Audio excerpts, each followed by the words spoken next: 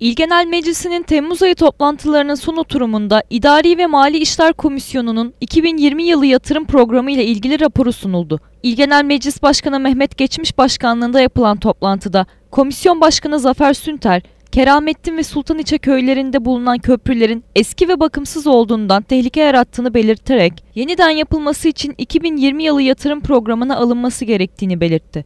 kendi gereğince 10 yıl süreyle kiraya verilmesi ve ihalenin il encümende yapılmasını oylarınıza sunuyorum. Kabul edenler Köprü yapım projesinin destek hizmetleri müdürlüğü yatırım programına onlara 1 milyon TL ödenek eklenmesine AK Parti Uzunköprü İl Genel Meclis üyesi Nedret Akbulut, yapılacak iki köprünün bütçeyi sarsmayacağını söyleyerek iki köprünün de yapılmasını istediklerini kaydetti. Hani valilik o zaman 6-700 bin lira bir hesap çıkardı. Yüksek. Dolayısıyla o zor geldi tabii onu yapmak.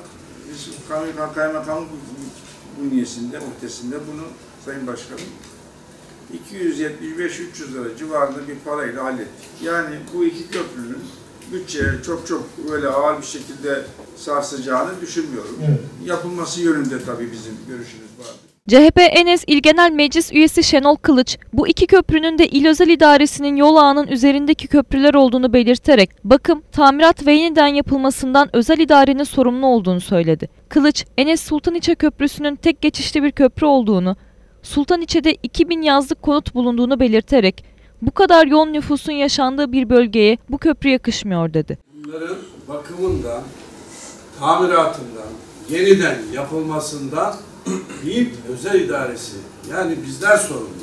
İkinci husus, burada tek fotoğraf gibi görünüyor fakat bir tanesi Süloğlu, bir tanesi o yıkık dökük olan yıkık dökük olan fotoğrafta da görüleceği gibi o da Sultaniçe, Enes Sultaniçe Köprüsü. Bu köprü tek geçişli bir köprü. Yani iki araç karşılaştığı zaman diğerini e, tabii ki e, diğerdeki bu bölgede yaşayan arkadaşlarımız daha iyi bilir. İkinci ve önemli bir husus Sultaniçe Enes'in en büyük köyü. En büyük köyü olmakla kalmıyor. Aynı zamanda üç köyü ana yola Enes Keşan Karayolu'na bağlayan bir köprü burası. Sultaniçe denizinde şu an bildiğim kadarıyla 2000 tane yazlık konut var. Sadece yerleşik olarak oturan insan sayısı 8-10 bin kişi. Bu kadar e, yoğun nüfusun yaşandığı bir bölgeye şu şekildeki bir köprü tehlike arz etmektedir.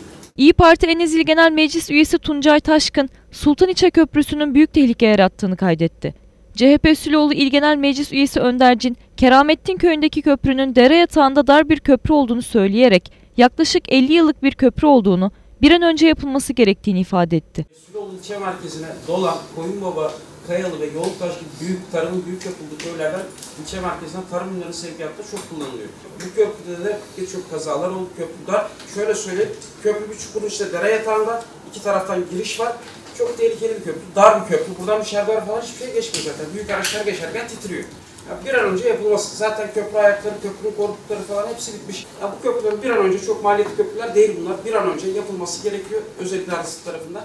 Teşekkür ederim. Keramettin ve Sultaniçe köyleri köprülerinin yatırım programına alınması mecliste oy birliğiyle kabul edildi. oylarınıza sunuyorum. Kabul edenler, etmeyenler oy birliğiyle kabul edilmiştir. Teşekkür Öte yandan Enez İl Genel Meclis üyesi Şenol Kılıç, Yenice Köyü yolunda bozulmalar olduğunu, bir an önce yapılması gerektiğini söyledi.